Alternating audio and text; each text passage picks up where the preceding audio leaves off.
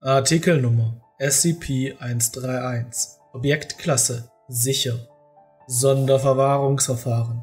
Es sind keine besonderen Sicherheitsvorkehrungen für SCP-131-A und SCP-131-B notwendig. Sie können sich frei in Standort 19 bewegen, solange sie nicht versuchen, Sperrbereiche zu betreten oder die Anlage zu verlassen. Kontakt mit den Subjekten ist erlaubt, aber es wird empfohlen, diesen Kontakt auf ein Minimum zu beschränken, um zu verhindern, dass die Kreaturen eine Bindung zum Personal aufbauen.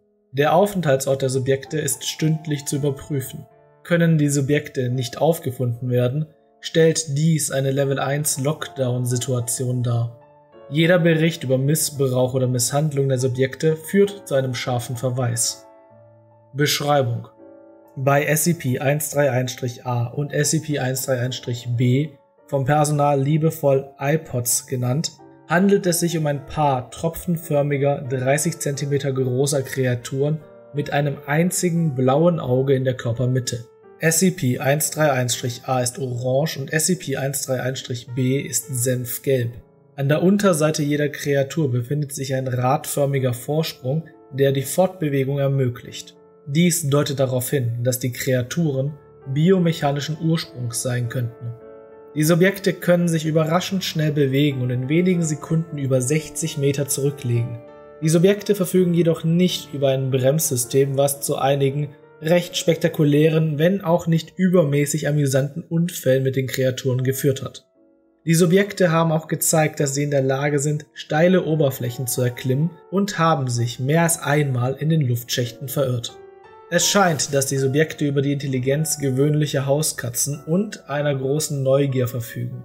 Die meiste Zeit rollen sie einfach durch die Einrichtung, beobachten das Personal bei der Arbeit und erhaschen Blicke auf andere, sichere SCPs. Die Subjekte scheinen in der Lage zu sein, miteinander durch ein unübersetzbares, hochfrequentes Gebrabbel zu kommunizieren. Es wurde nie beobachtet, dass die Subjekte blinzeln, auch nicht in Versuchen, in denen die Subjekte 18 Stunden am Stück auf Video aufgenommen wurden.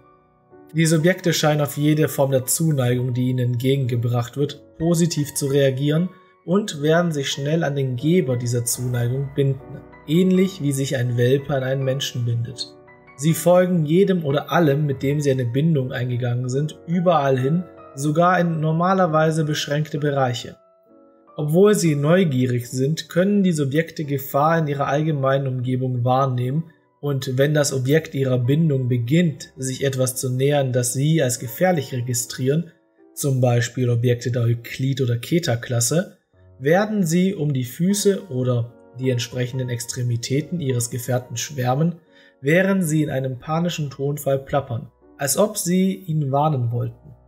Wegen der täglichen Gefahren, denen sich das Personal von Standort 19 im Umgang mit Objekten der Euklid- und Keta-Klasse ausgesetzt sieht, wird empfohlen, dass das Personal Versuche unterlässt, eine Bindung mit den Subjekten einzugehen, um damit mögliche Ablenkung bei heiklen Experimenten oder Operationen zu vermeiden und die Subjekte selbst vor Gefahren zu schützen.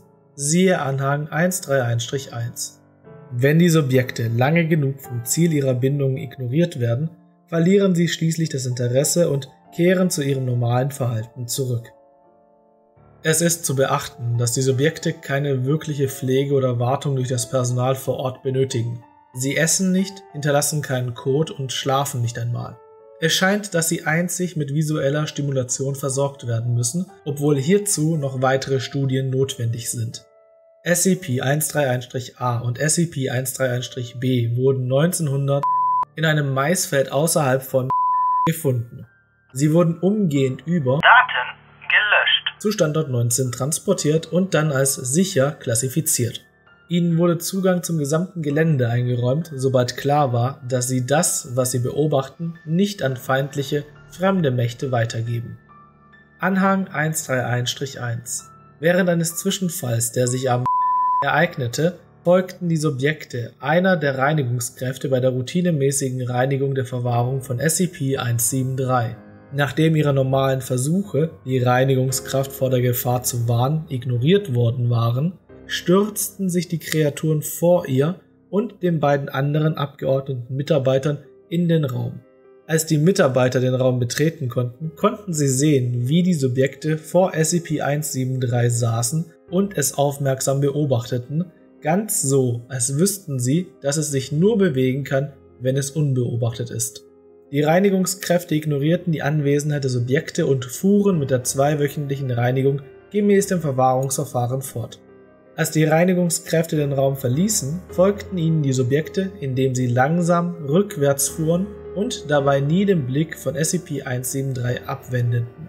Eine Verwendung von SCP-131-A und SCP-131-B als Aufseher für SCP-173 und vielleicht andere SCPs, die eine ständige Beobachtung erfordern, wie zum Beispiel SCP-689, werden derzeit in Erwägung gezogen.